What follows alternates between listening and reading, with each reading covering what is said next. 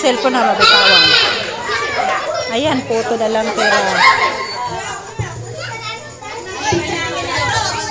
Grabe sila. Kakil. Wala, nag-shadow na pala. Ha? Huwag mo akong picturean.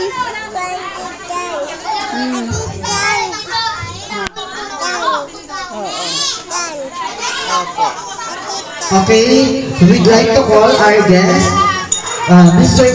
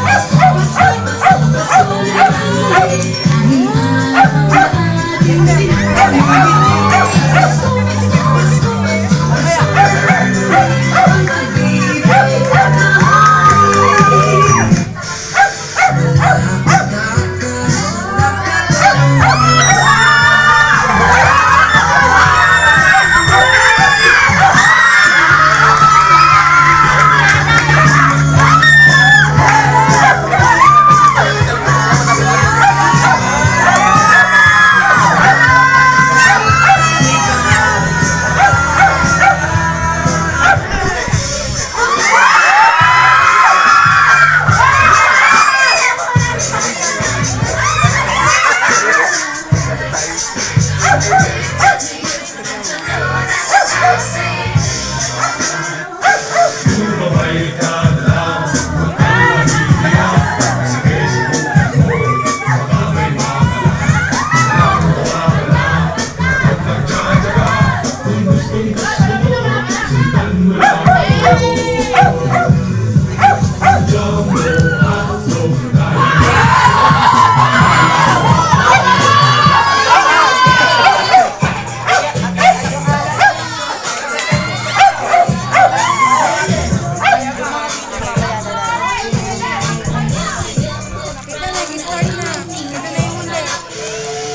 out his leg.